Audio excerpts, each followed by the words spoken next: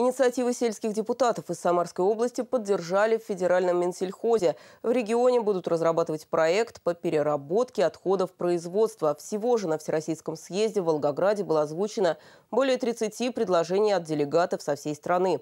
И принято решение, более 100 миллиардов рублей будет направлено на развитие социальной сферы села. Об этом заявил премьер-министр Дмитрий Медведев. Сергей Павлов обо всем по порядку.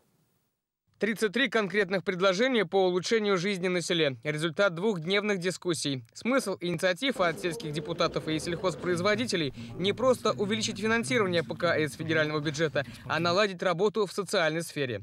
Голос с услышан. Ни одна госпрограмма в отрасли не будет сокращена. Наоборот, на обустройство сельской инфраструктуры в этом году поступит дополнительно 100 миллиардов рублей. Строительство этих объектов нужно начинать там, где действительно развивается агропромышленный комплекс чтобы для людей, которые в нем заняты, были ну, практически сразу же возведены дома для жизни, а, в том числе для молодых специалистов, проведен газ, чтобы было улучшено снабжение питьевой водой, построены школы, детские сады, медицинские учреждения, клубы, спортплощадки. Строительство дорог, говорят на съезде, до сих пор самая острая проблема. Треть всей сельской дорожной сети России не имеет твердого покрытия. На решение задачи в этом году направить 7 миллиардов федеральных субсидий. В рамках новой федеральной программы заложены солидные средства и на строительство фельдшерских пунктов и офисов врачей общей практики. Кроме того, в этом году увеличится погектарная поддержка аграриев, а молочная отрасль получит уникальный шанс – стопроцентное субсидирование ставки по кредитам сроком до 15 лет.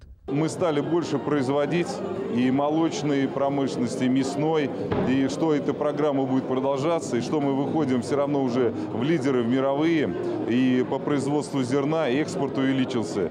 Самарскую область на съезде представили 10 делегатов. Волнующие их темы – предложение государственного регулирования цен на зерновом рынке, вопросы экологии и поиск вариантов переработки отходов сельхозпроизводства.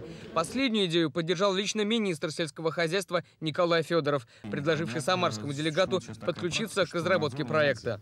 Другие направления, обозначенные на съезде, партийный актив рассмотрит уже на месте. Уже на этой неделе у нас состоится круглый стол.